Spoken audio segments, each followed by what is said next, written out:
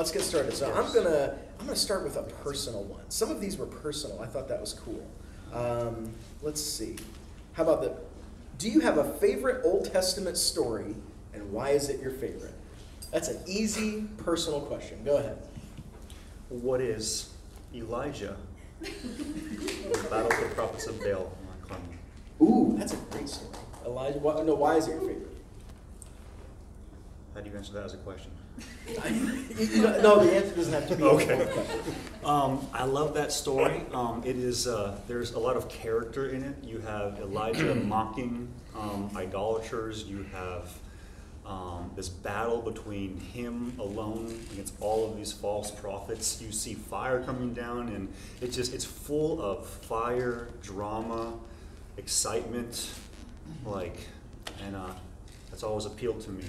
Plus, just the I don't know, a big part of my own conversion and salvation was um, being a part of seeing God do amazing things. So reading that story is a great affirmation that, that God does amazing things that cannot be done in ordinary ways. It also has one of the best jokes in the whole Bible. It does, it It does. does. Yeah. When Elijah mocks Yeah. Baal by saying, "What is he going to the bathroom?" It's He him runs, relieving taking himself. Yeah, it's a great. He's taking selfies. The Bible's fun. Selfies. That's, Dave, Joe, what about you? I gotta hear Dave's first. Oh, we got Yeah. okay. Well, obviously Zechariah 3 has the gospel. Uh, Isaiah 6, Isaiah's willing to go without knowing where. But I got to say, my favorite comes from Judges 3. Uh, Ehud. I was gonna say that. That's funny. you know, I mean, there's a bad king, Eglon, and so Ehud makes his sword and he hides it, and he goes up and he gets the guards to leave, and then he sticks it in the belly of the bad king. And it says that his fat just rolled over it and hid the knife, and that he relieved himself. And so the uh, Ehud sneaks out the, the window, and so the guards are at the door, and they wait and they wait, and they think he's going to the bathroom. I'm sure it's because the smell's coming underneath the door. And, and anyway, it gives them enough time to get away, and they go in there and they find out he's dead. And, and the, the the reason I like it too is because even the people that God uses, they're not perfect. Okay, he was a sneak the way he did that. And I think what he did might have been a good thing, but he was pretty sneaky about it. And yet God uses us even in our imperfections. That's the most Pastor Dave story ever. Joe, he stole yours. That He was did, yours he, he as, as well. he stole mine. Is this on? Uh, it kind of is. It kind of is, okay. I've had the worst trouble with mics recently. I- They're demon possessed, I think, but. Um, I guess my second favorite Old Testament story is uh, one I'm getting ready to actually preach through in the next over in September. So that's the story of Joseph. Uh, Joseph, of course, has the, the coat of many colors, but my favorite part of that story is the end when his brothers come back to him and they think he's going to kill them because they've sold him off into slavery and he's had to go through all these ordeals and suffering and um, he, he looks at them and says, What you intended for evil, God intended for good, so that many would be saved. And so that's one of my favorite stories because oftentimes, and, and you'll hear this in, in the messages coming up in September, is, is God uses our suffering, God uses those difficulties in our lives. And um, we'll, we'll talk about forgiveness and other things as well, but that's, that's my second favorite. But Dave, Dave and I think a lot alike, which is scary. It is scary. Uh, mine is uh, Elisha and the two she bears. That uh, when, the, when the youth come up to Elisha and call him bald, and Elisha commands two bears to maul the, the youth that make fun of him alive. Just saying. When we make fun of Say what? You now know what you're gonna do is if No, I, I, I'm not saying I can do that. I'm not a prophet. Go up, you old bald head. You'll, we'll send Chris to. Oh, all right. Here's another one that's uh, that's a personal question. How did you meet your wives? How did you meet your wives? And there, there's some follow up to that as well. So we'll let me answer that first. How did you meet your wives? My wife came to work at an office I was at as a secretary. And I thought she was attractive, but I paid no attention to her. She had red hair, and one day she got mad at one of the other, one of the people that came into the office. It was the probation office, and she slammed that desk drawer, and I went, "Oh." that girl's got fire, and that was how I was attracted. That's awesome. Oh, turned mine off. So I met Claudia at the University of Florida, um, which is one of the reasons why it is the best university in the nation. Some might even say the world. Just throwing it out there. I've heard that said before. Um, but so we uh, we attended a college group called Chi Alpha. It was a college ministry on the campus there. Um, the first time I saw her, I, I can describe to you the outfit that she was wearing. Now, if you ask her the story, she will say that she never owned those items of clothing. But I know what I saw, and that image will always be in my mind, true or not. Um, but uh, we met at Chi Alpha at University of Florida. I was a sophomore, she was a freshman, and um, beyond her, her beauty and her um, passion in her life, she also was very zealous for the Lord in a way that made me question if I was actually able to lead her and be a qualified suitor for her. Um, and that really challenged me and caught my attention. So. So- I'm sorry. Go ahead. No, no, I was No, gonna that's say good. they're, they're white capri pants that she doesn't own. White capri pants. She doesn't own those though, but she was wearing them that night. I, I don't, I don't remember what Danny was wearing when I first met her. I just remember the, the aura around her, and the, the angelic music. And so we, we met at we met at probably the, s- the second the second best university in the world, uh, University of Mobile. Um, I'm sure you guys have all heard of that. It's a small Baptist college in South Alabama. But uh, we, we had classes together. Both of us were pursuing um, a degree in theology at the time, and so uh, we were study partners. And just so you guys kind of know a little bit of, of, of the background uh, and why, th- why this is important, I wasn't saved until I was 23. So I went, I was called to the ministry shortly thereafter, and then left the university that I was attending and transferred to University of Mobile, which I met Danny my first semester there. But uh, we we didn't. She had another love interest at the time, and so I had I had resigned myself to singleness um, at that particular at that particular point because I did get saved when I was 23. So I did a lot of stupid things when I was um, a teenager and a young adult. So I'll, I'll just confess that to you. So I had resigned myself to singleness and said, "Okay, Lord, if you want me to be married, then you have to bring me a woman uh, because I'm not pursuing one." And and I didn't. I didn't pursue her actually, and. Uh, we, we ended up in a German class together. We, I had to take two years of German in one year, and she had to take one year in one semester. So that, that was kind of the way we, and we sat next to each other and we started talking and passing notes in uh, German class. And so, you know, the only thing I remember from German class is Ich liebe dich, which is I love you. So, That's a sweet story. Does Danny speak German now? no. So here's the follow-up to, to that question. talking. Passing notes. Here's the follow-up to that question, and, and maybe you kind of answered some of it in, in your stories there, but um, were you or your wives Christians when you met? And then kind of the, the wisdom you can kind of bring here is, how can someone know whether someone else is a believer? Like if you're, if you know someone, maybe just a friend, or even if you're attracted to them, how can you know that they're a believer or not? So I'll go first. Um, yes, Danny and I both were believers at the time. Both of us were saved later than teenagers. So she she was saved um, in her twenties as well. And so, how can you know if somebody's a believer?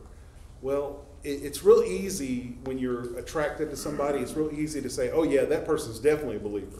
And, and there are and there are young men and young women who will pretend to be believers in order to get that relationship that they want with that person who is a professing believer. So you have to be careful.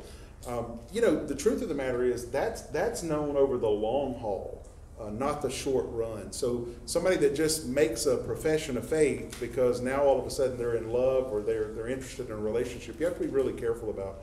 So here's the wise thing to do.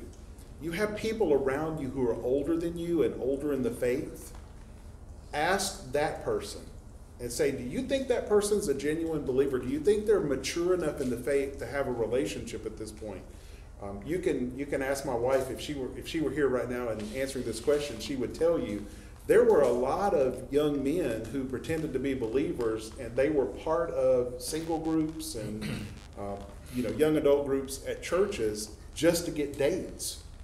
And so, not that men would ever be deceptive. I mean, certainly that never happens. But um, and, and then you go on a date with them and you find out that they're not really a Christian after all. So uh, that it's better to really start off as friends and see if that person is genuinely uh, a believer.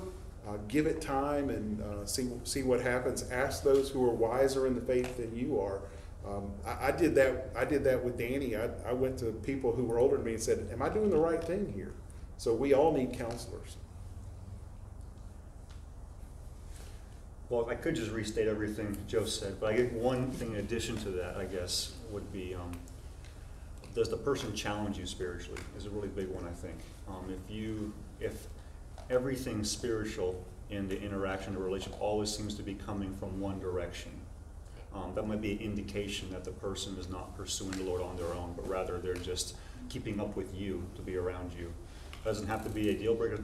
Maybe they could be just less mature than you spiritually, but that would be something that I would be mindful of. If it seems like they're always playing catch up with me spiritually or following me spiritually, they're not actually having anything on their own spiritually, that would be a big flag to consider. But I think Joe's comment, particularly about involving others around you, is, is probably the best best answer to that question. I, I thought I was a Christian, and my wife was, but uh, I found out later that I wasn't.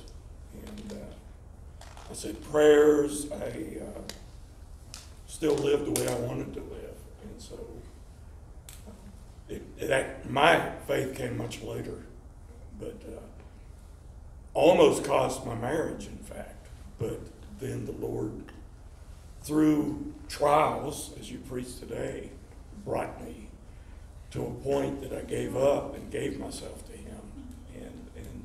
then I became a believer. And by that time, I had almost ruined the marriage, but God healed that. And that was part of His blessing. And the only thing I would add to what they've already said is just in a very subtle way, ask them, uh, you know, that, that one of those questions you learn uh, when you're presenting the gospel is, if you died, would you go to heaven, and, and why? Why would God let you into heaven? And if they talk about, I'm a good person, stuff like that, they're not a believer. It has to be that Jesus, because I believe in Jesus, He died for me and took away my sins. You stole my answer, which was going to be give them the gospel. Give them the gospel and see what happens. Yeah. All right. Here, here's the next question. Bible question. Let's get, let's get into some Bible questions. How can we trust that what the Bible says is really true? I thought that was a really good one. How can we trust that what the Bible says is really true? I'm gonna let my chauffeur answer this one. So easy. Why am I gonna try? I just can't remember if it's First or Second Timothy three sixteen. First Timothy three sixteen. First Timothy three sixteen. This is uh, all Scripture is God breathed. I mean, how can you argue with that?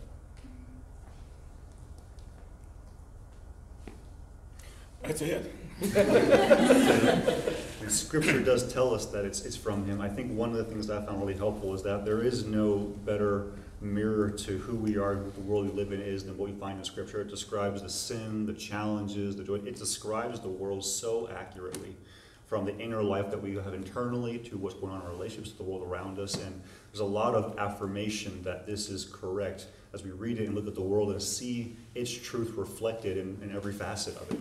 Um, so that's affirming. Isn't the reason why I believe it's true, but that's very affirming. The reason why I believe it's true is because God has saved me, transformed my heart, opened my eyes. So when I look at this book and when I read it, I hear His voice and see His truth in it. And ultimately, that's how I know because He's saved me. Um, but there are a lot of things that affirm that as well. Yeah, I would- would add to that, you know, our confession, the, the Westminster Confession, talks a lot about this in the very first chapter of the confession, which is of the Holy Scriptures. And so there's a lot of things about the Bible that are self attesting. I mean, there's, there's the beauty of it. You've got, you've got a book that's written over a period of about fifteen hundred years by about forty-something different authors. And the message is the same all the way through scripture. And, and I hope one of the things that you're able to see as, as the sermons are being preached, as you're, as John is teaching you and, and others, is how the Bible fits together, Old Testament and New Testament together. And so that's one of the proofs that the Bible is the Word of God. Somebody who didn't even know the other person wrote in a way that's very similar to the other, and the same message uh, just permeates the Scripture all the way through. But as Anthony just said, you know, the, the main reason you know that the Bible is the Word of God is because you've been converted. Uh, you've been changed. The Holy Spirit resides within you. And when the Holy Spirit speaks in the Scripture, the Holy Spirit within you recognizes that as the Word of God and it, it resonates with your heart. The biggest problem that most people have with the Bible is they never read the Bible. If you read the Bible, I promise you, you would come to the conclusion this is the Word of God, especially if you read it with a heart that's open, because the Bible reads us. And, and I can kind of tell you my own conversion story real quick. I didn't, I didn't know if the Bible was true or not. Um, January the 1st of 1996, I was 22 years old. I sat on my mom and dad's front porch. I had no direction, no purpose for my life, and I thought, you know what, I probably should read the Bible. I don't know where the thought like that comes from other than the Lord, and, and He's leading me and calling me. And so I, I went on January the 2nd, I, I drove my, my truck down to a place where I could, I could read in private because I didn't want anybody to know I was reading the scripture. And so I read completely through the scripture. And in September, I was reading through again, and that's when I was converted. Um, I understood it for the first time that Christ was my only hope, that I was a sinner. The Bible made that very clear, and, I, and it resonated with my heart, and I knew that was my only hope. And so I have never once doubted the scripture since that moment of conversion. And so I put the scripture to the test, and it actually tested me. I don't know, it's, it's, it's very difficult for me. I, I have a hard time pronouncing some of the names. And, uh, uh, I'd like to hear how all four of you feel about that.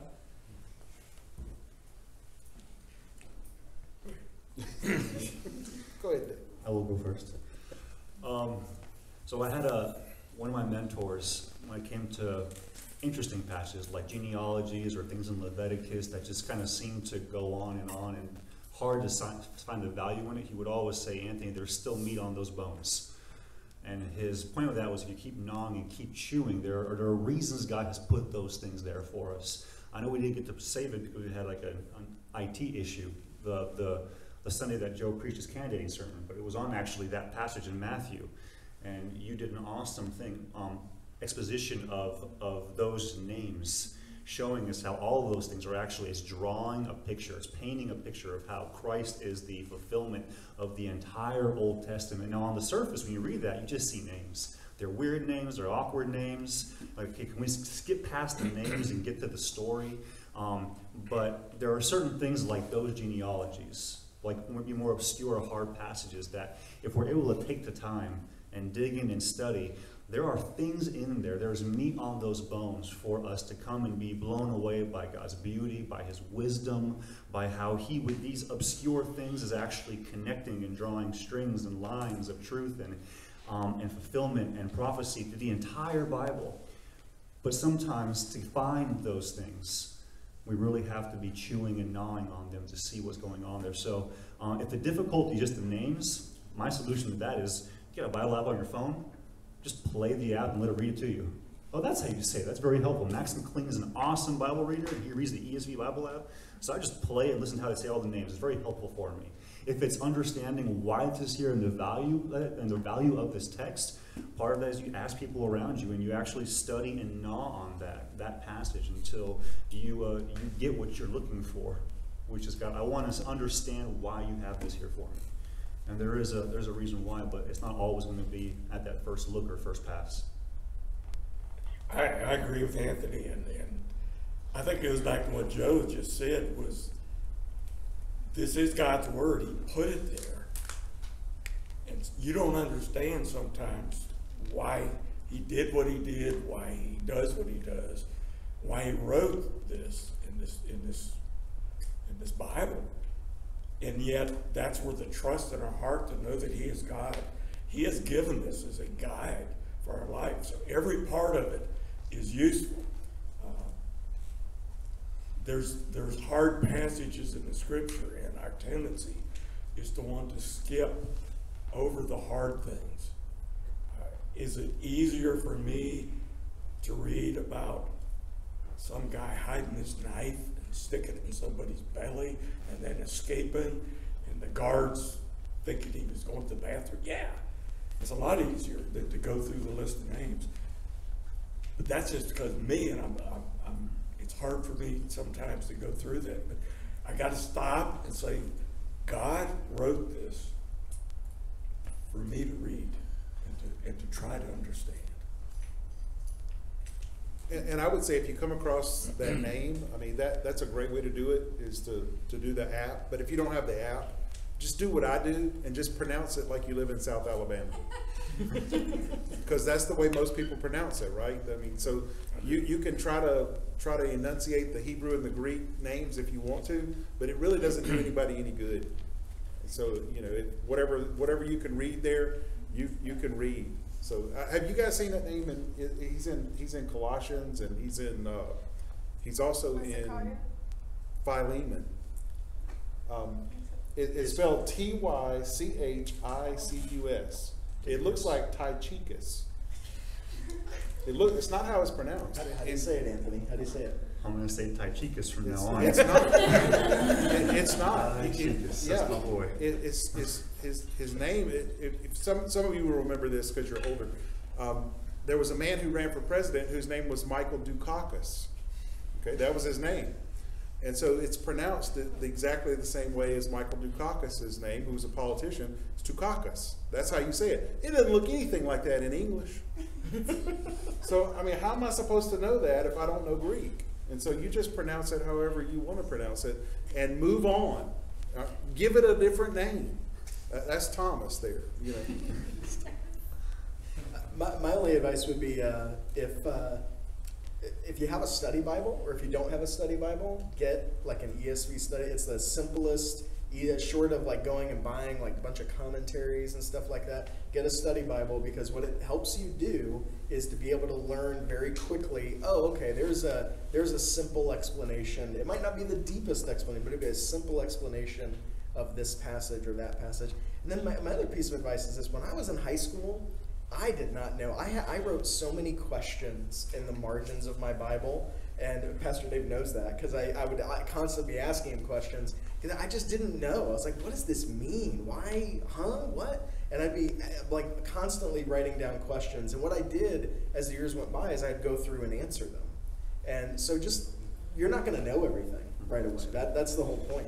And uh, even Mr. Vick, you know, he's been reading the Bible for a long, lot longer than all of us, and and there's still going to be questions, you know, as as you read the Bible. So give it time as well. Um, here's the next one. Does God really love everyone? Yeah, but I'm his favorite.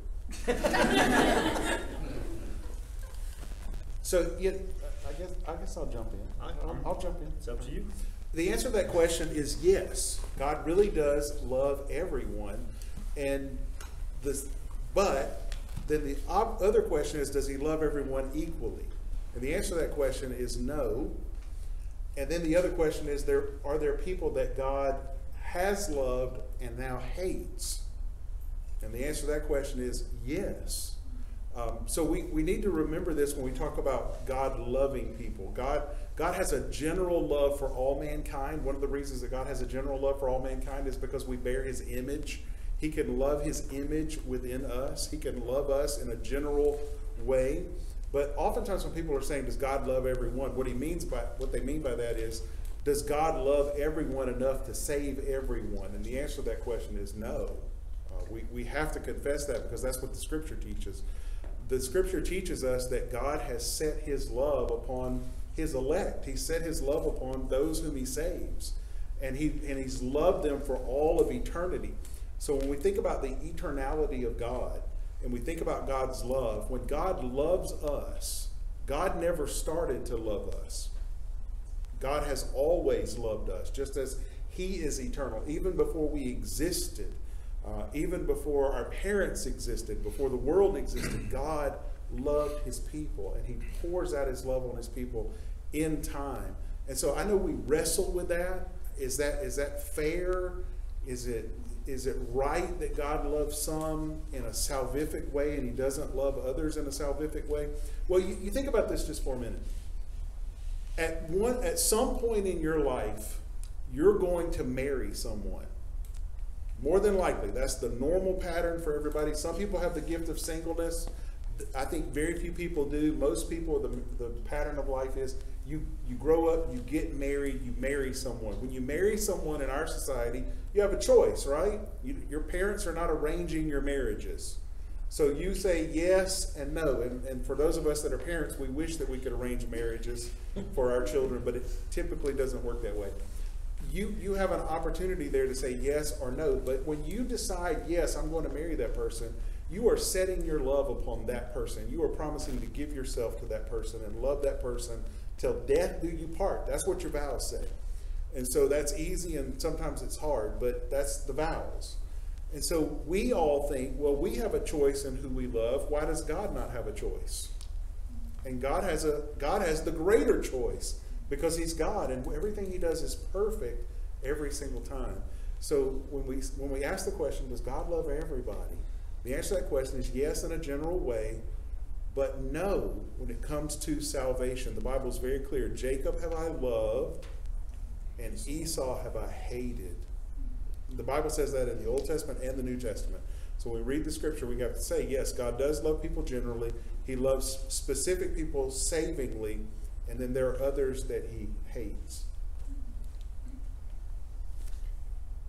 You want us all to chime in? If you want, you don't have to. It's, You correct anything I got wrong. so the real answer, everybody. Thanks, Pastor Joe. Um, And then Dave will straighten us both out. Uh, this is a hard question. This is one of the questions I wrestle with because, for example, when a young man asks a young girl if she loves him, and she responds with, Of course I love you. You're my best friend ever. that is not what he's asking. Is that right?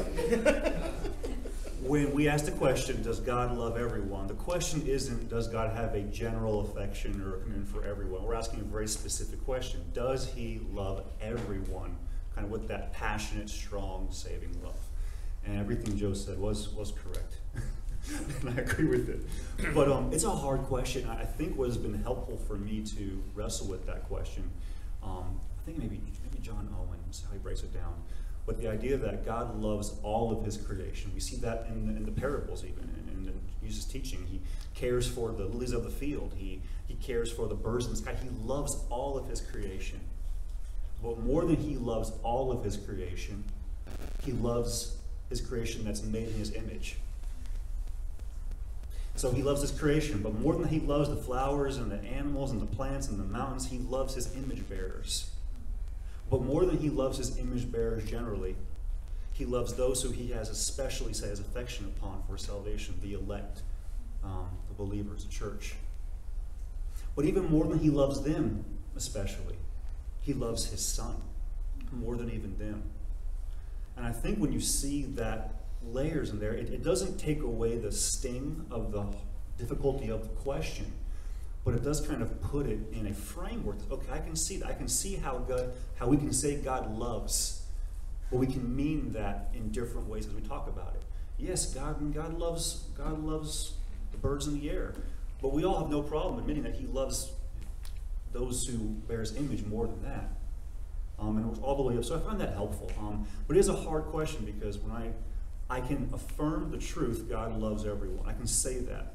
But I know when people ask me that question, they're not always asking it the same way I'm affirming it. And I think the best thing is just to be honest with that and say yes.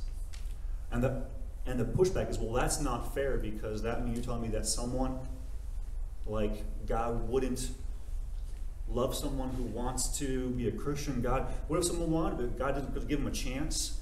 Well, the scripture never teaches us that God doesn't give people a chance.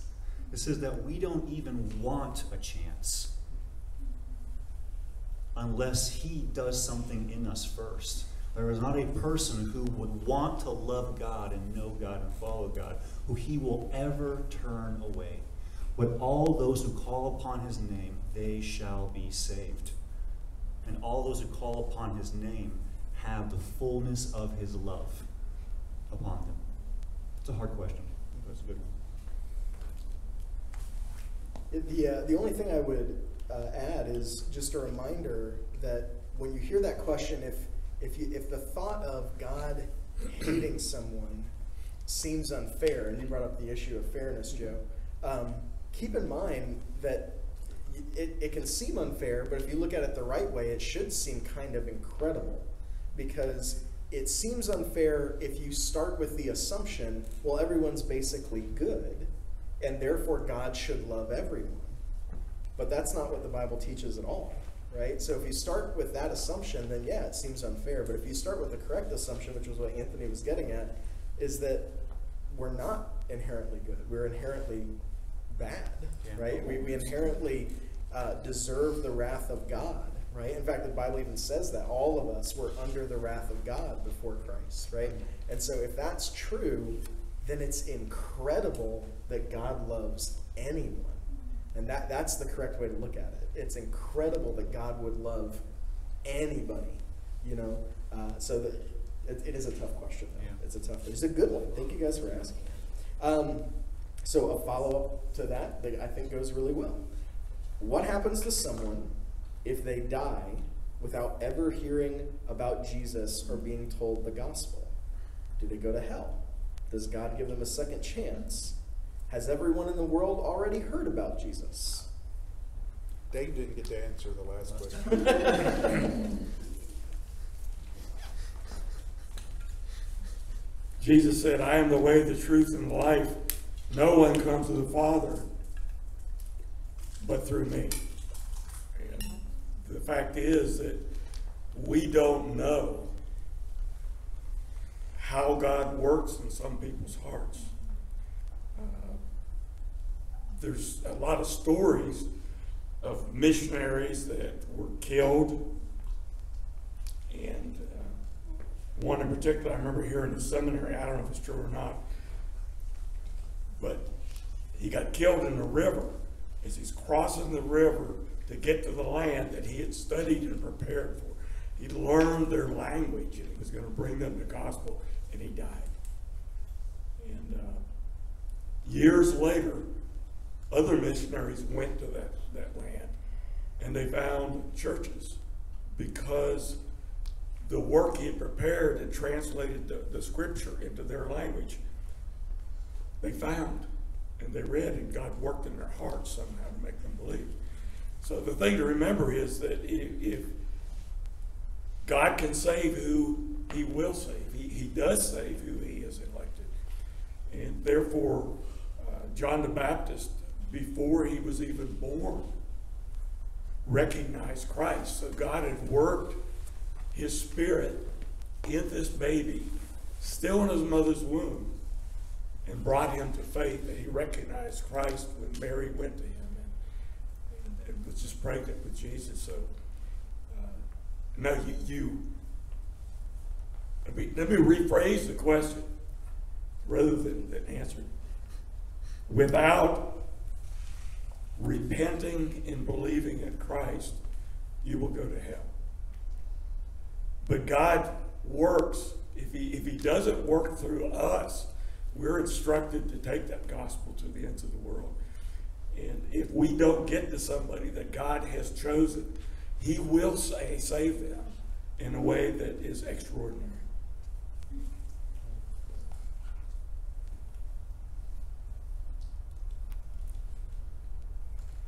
This is my turn. Um, Nothing to add to that, though. That was, that was all there. Um, First time you said I was all there. Won't be the last time, I'm sure. Um, yeah, so the question is, do those who have not heard the gospel, what happens to them, right? Mhm. What happens to the small tribe in the forest somewhere that no missionary's gone to yet? If they if they die without being told the gospel, But, so, the Bible is really clear. Um, there is no salvation outside of Jesus. There is no way for someone to be forgiven, to have their sins washed and cleansed, to be on a right standing with God, apart from declaring that Jesus is Lord and repenting and believing in Him. Um, the ordinary way that people have the opportunity to do that is through hearing the gospel being declared to them. Um, so the short answer is if someone has never repented of their sins and trusted in Christ, there is no salvation for that person. Now, this question again wrestles with that issue of fairness, which, without having to restate it all, going back to what you said in the last question, John, it assumes that people deserve or are entitled to something from God other than his wrath. The scripture makes it clear that no one is entitled to anything other um, than his wrath. But in his mercy and grace, he extends salvation to some. But it also assumes that there are people who are innocent. There are people somewhere who, if God just gave them a chance, they would have repented. The scripture is clear. No one is good, not one. When you read through Romans 1 and 2, it gives this picture of you have the Jews who have the law given, they've been given literally everything, been given everything from God. And having the law in their hands, having it memorized, they still sin and rebel against Him. And then Paul gives the other extreme. There are those who do not have the law, of the word given to them, but they know what's right and wrong because it's been written into their conscience. They are image bearers of God. And part of what being an image bearer of God means is that you have a general sense of what is right and what is wrong. And even though and even those who haven't heard the gospel, those people are still in rebellion, even against what they know to be right. There is no one sins, there is no one innocent. Um, so all deserve God's wrath and judgment. And the response for us is what Pastor Dave was kind of sharing at, and there is if we are concerned for those who have not heard, we can go to them with the gospel. And there is not a person who would hear the gospel and repent who will not be given an opportunity to hear the gospel and repent. There's no one who is going to hell who is just waiting for God to finally get out to them, but time ran out. Every single person who will call on his name and repent will have the chance to do so. There was a last part to that question too. What was, what was the last part of that question? Has everyone in the world already heard about Jesus? No, everyone in the world has not heard about Jesus. I want you to think about this. We, we were talking about the love of God. We were talking about the gospel spreading. We were talking about, you know, whether or not God loves everyone equally. I want you to think about this just for a moment. Jesus died on the cross somewhere around 33 AD. The last apostle died probably, if John, if, if history is correct, probably around 90, 95 AD, something like that. So we're, we're talking about 60 to 62 years after the death of Christ, John the Apostle dies.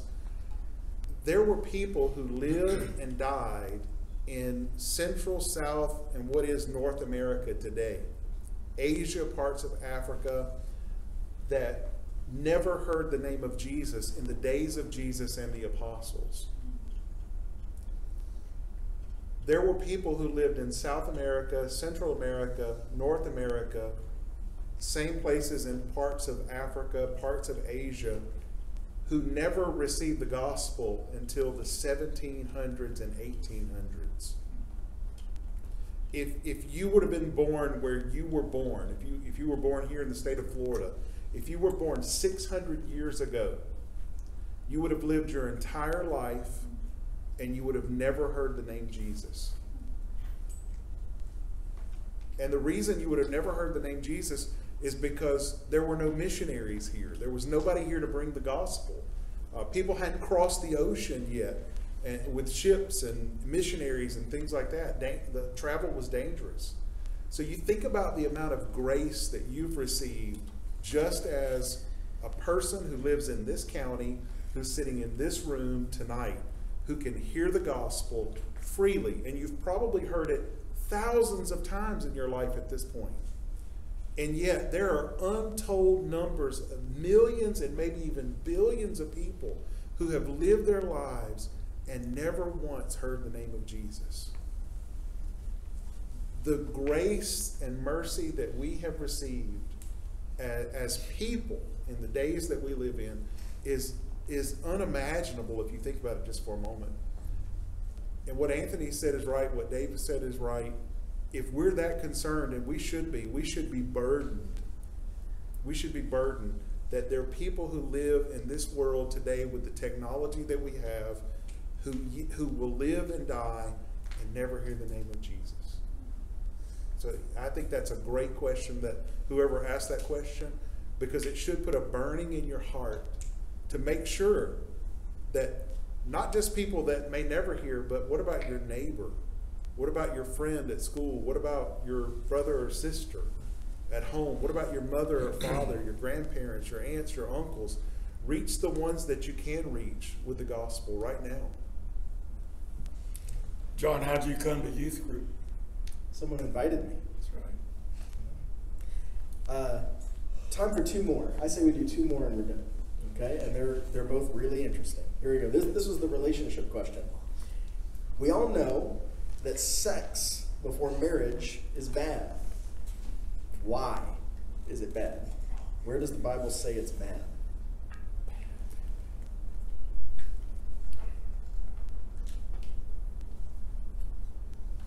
Sex is the sign and the seal of the covenant of marriage. If you look at Scripture, God made his covenant with Abraham. And as a sign that you became a part of God's family, uh, the sign of that covenant was circumcision for the, the young boy, babies eight days old. And that stayed until Jesus then gave us the sign as baptizing, which baptism is now the sign of the covenant. And if you look at the at the covenant, what, what do we do in communion? That's a sign and a seal. When you're making when you're getting married, you're making a covenant with that person. And the Lord takes the two, it says in Ephesians, and he makes the two one. And the sign of that covenant is sex. So if you have sex prior to making that covenant, that's why it's wrong. Somebody else take a go at it. Get your Bible open, go ahead. I'm still trying to find the verse. All right, I want to talk about I want to talk about cars. not that I'm embarrassed to talk about sex because I'm not, because everything Dave said was was true.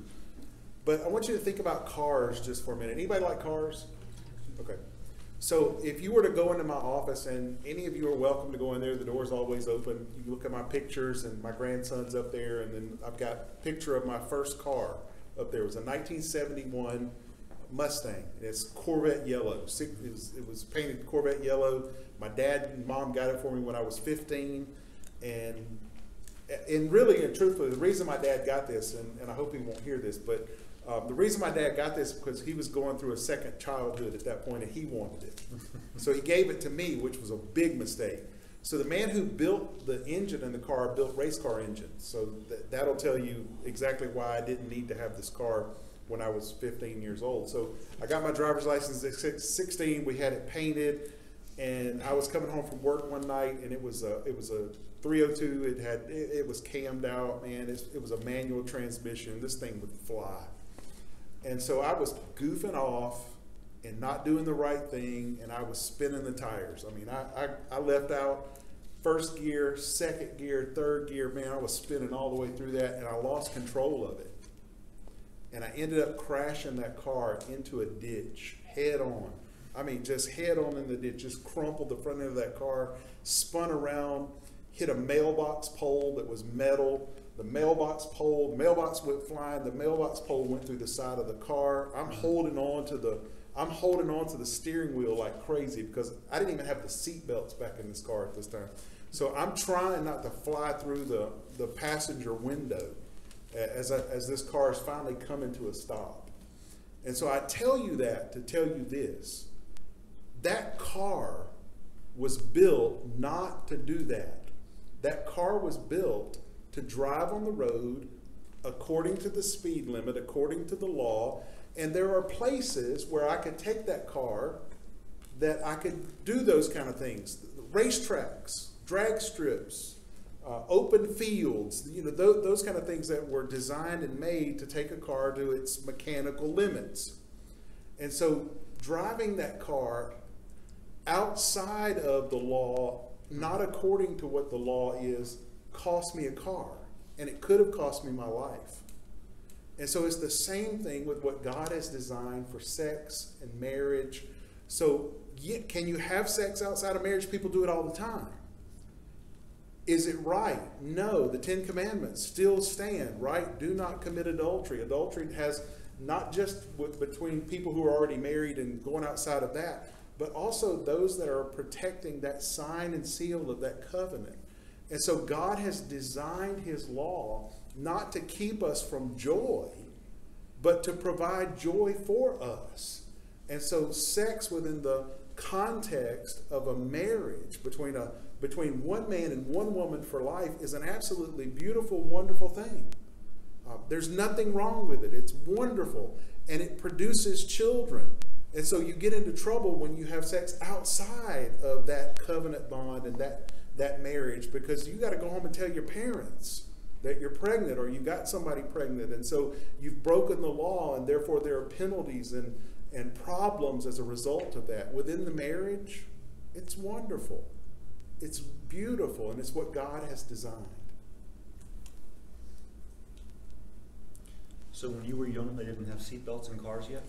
Yeah they did but i didn't put them back in yet that was the Okay. problem I was stuck on that little yeah detail. I, I just i just finished i just finished the interior Okay. yeah They just did didn't have mine back also. yeah we, Let- didn't- we let didn't have go to back wear to the them. how old are you question again, quick.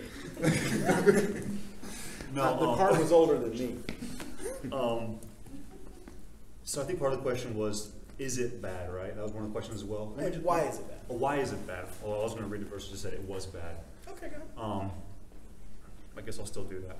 Yes. Yeah, let me just read it. I mean, we're our pastors talking about truth. So, um, 1 Corinthians 6 All things are lawful for me, but not all things are helpful. All things are lawful for me, but I will not be dominated by anything. Food is meant for the stomach, and the stomach for food. And God will destroy both one and the other. The body is not meant for sexual immorality, but for the Lord, and the Lord for the body. And God raised the Lord and will also raise us up by his power. Do you not know that your bodies are members of Christ? Shall I then take the members of Christ and make them members of a prostitute? Never. Or do you not know that he who is joined to a prostitute becomes one with her? For as it is written, the two will become one flesh.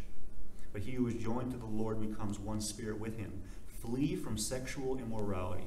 Every other sin a person commits is outside of the body, but the sexually immoral person sins against his own body.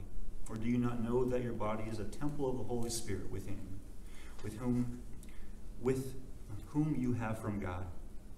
You are not your own, for you were bought with a price. So glorify God in your body. Now you might be pausing. Well, we aren't talking about prostitution, um, but the reasons he gives here for not sleeping with a prostitute are grounded in the fact that when you are sexually intimate with someone, you join yourself to them. And the body is your sexual um, purity. Your body is not for you alone, but is meant to be given to the one who you will be one flesh with. You will be united to in marriage. Um, so there's a, a scripture for why it's bad. It says it's bad. But another thing interesting is that um, you don't make the comment to everyone. Well, it's common now. It's almost like waiting to marriage is, is, is an old school traditional thing. And it's because there are so many things that we do that we don't realize the consequences of them until much later on. I could think about um, lead in paint. Um, if you were to buy a house right now, you have to get waivers declaring if there's lead in the paint or all kinds of just all kinds of things. Things like certain medicines that were taken or smoking, whatever it might be, things that people didn't thought were just fun, there were no consequences. It wasn't until decades went on, generations went on, that they realized what they were doing was they were sowing poison in all of their homes and in their bodies. Sex is it can be similar to that when used in the wrong way. The feeling is pleasure. It comes and goes in the moment. But what's happening spiritually, emotionally, physically, when used in the wrong ways, that you might not fully grasp and see the consequences of for decades until you find your wife. Or if you're being immoral with your wife, with your Even if you are being sexually immoral, engaging with the person who you're going to marry, that bears consequences on the marriage you will have in terms of lack of fidelity, lack of being able to trust someone who will adhere to God's word. I mean, all kinds of consequences that you can't even begin to foresee until they begin to sprout and bear fruit in your life down the road. So it's, it's a hard one because on the surface, what's the harm? Well, according to Scripture, according to those who have um, sown into that sin, there is great harm, but you might not know it until much time passes. Thought? Uh, My just closing thought on that is, uh, you mentioned society Yeah. and the fact that society today is very, thinks of it as like an old school idea. Uh, doing a, a job with my dad one day, we were working out in a field grinding stumps, and uh, we had to get into this other field uh, because we there was a stump over there, and there was a fence in the way. And so I went up to the fence, and I was like, "Well, we'll just take the fence down." I started, you know, putting the pole back and forth, trying to get the pole out of the ground. And, he, and my dad stopped me and said, what, what are you doing? And, and I said, well, we'll we just got to move the fence and then we can get to the thing. He's like, you have no idea why that fence is there. Hmm. I know today a lot of people have said, this is really stupid, this fence, this law, this rule that says no sex before marriage. But before you move the fence, you got to ask, why is it there? So why did God put that there? And, then the, all of these were the reasons as to why. The reason God put that there is that it is a safety, it is a protection, it is a covenant, right? There, there are consequences when you move it, and uh, and the world experiences those all the time. All right, last question, and we'll be done. Um, I, I thought this was a very fun question. Where's it at? What do Christians have to say about people believing in ghosts and stuff? and uh, and this Or question Bigfoot? or Bigfoot, sure. And this question was courtesy of uh, Mr. Poltergeist. what do Christians have to say about believing in ghosts and stuff? Wow. That's our last one.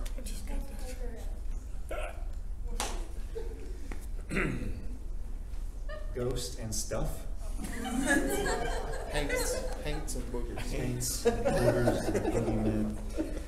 Um, well, some things are clear in Scripture, um, very clear. When someone dies, there is not a state where they hover and linger, but they either ascend to be with Christ in paradise, or they descend um, and await final judgment.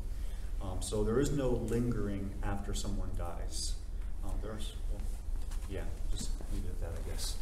Um, that does not mean, though, that we do not live in a world that is um, inhabited and active beyond what we see and engage with our physical natural senses. Um, this morning we talked about this, this amazing encounter where God um, comes and wrestles in embodied form with Jacob.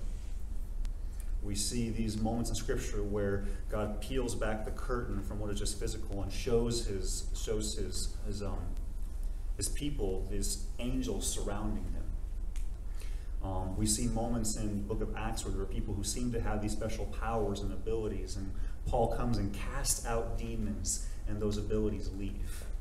So um, I don't believe, Scripture I don't think encourages us to believe that there are the souls of dead people wandering and inhabiting the world, but it does not mean that the world is not inhabited by a deceiver who is seeking to put fear in people's hearts and minds, to deceive them about what is true, um, about God, about eternity, about the spiritual world. So um, I am I am very comfortable with the idea that there are things happening in the world that we can't have a hard time trying to explain. But I think the explanations we give for those things have to be things that we wrestle with through Scripture. What is true? What is right? What does Scripture allow us? How does it explain the spiritual world? And how does its explanation govern the way we interpret the world around us? I'm sure that covers all the stuff part, but maybe that speaks to some. I mean, there's some weird stories I can, but yeah, in Scripture. That, um, that's my general answer, though. I don't know about Bigfoot, but or the monster in your beard. Well, do you really believe that this princess had hair that long that the guy could climb down or climb up her hair to save her? what was that? Which, which one was that? Rapunzel. Rapunzel. I mean, That's hand stuff. so, so you don't necessarily have to believe in stuff to maybe enjoy the story, right? That's all. So you can enjoy it without actually believing it. I mean, what is the, what is the, they made all that series of movies, uh, Ghostbusters? no, the, the, the magicians and, Star Wars. Harry Potter? yeah, Harry Potter. I mean, do you really believe that that is a true story? Yep. I have nothing to add to that. That's, uh, Anthony's spot on. Awesome. Guys, did you enjoy that? Yeah. That was really good. Guys, thank you so much. Thank you so, so much.